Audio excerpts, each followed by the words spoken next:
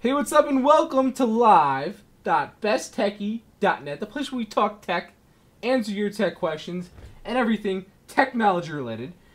I want to do a little video on computer troubleshooting. I know a lot of people often have computer issues related either to Windows, OS 10, um, you know, even Linux.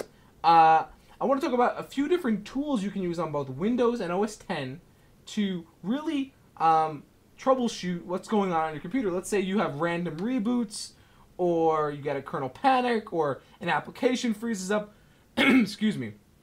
How do you how do you really troubleshoot what's going on? Is it is the computer overheating? Is there a driver conflict? What's going on? And, and really, how do you research it to fix it?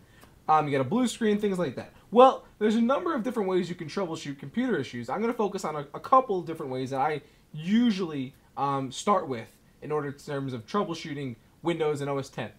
Um, first of all, when it comes to Windows, one of the major uh, system tools that's built in is called the Event Viewer. A lot of people don't realize this, but the Event Viewer is a very, very useful tool, and it can be found by going to right-clicking on my computer, going to Manage, and under there you'll see Event Viewer. And if you go through, if you on, if you um, make if you expand the event viewer, you'll see you can go to System, Applications, and uh, Security. I believe is what it is. And basically, you can go through there and check different logs. So let's say your computer reboots or it freezes up at a particular point in time after you launch an application, or just you remember the time that it froze up or rebooted, and you, you reboot back into the computer and you go check the event viewer, you can see what at specific times what happened with the machine what caused it to do whatever, and it'll give you a little report, and you can use that report and you can research the information that it provides. It even sometimes it even provides you with a knowledge base article of some sort. Uh, that's one way. Using the blue screen of death is another way. Now I know the blue screen of death is not a very pretty thing to see when you're uh, when you're using your computer and all of a sudden boom blue screen. And in fact, some cases with Windows XP especially, uh, Microsoft and Vista now too, uh, they disabled the blue screen sort of. Um, they, but, I but I, what I mean by disabled is they kind of just hit it by automatically rebooting the machine as opposed to showing the blue screen. It makes it look like you're getting less blue screens. Um, that actually hurts you. It doesn't actually help you that much. By seeing a blue screen, it, what it produces is a stop error code. And that error code can be, you should always write it down and then when you boot up the next time, you should research it or take it to another computer and type write it down specifically, and you can research at least the first part before the parentheses.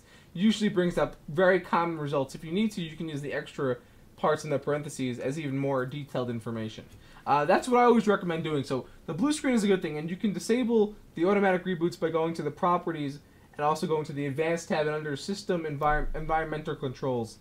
Uh, you can environmental uh, environment, system environment, and also uh, under the system environment settings, you can uh, untick automatic reboot or or tick you know don't reboot automatically.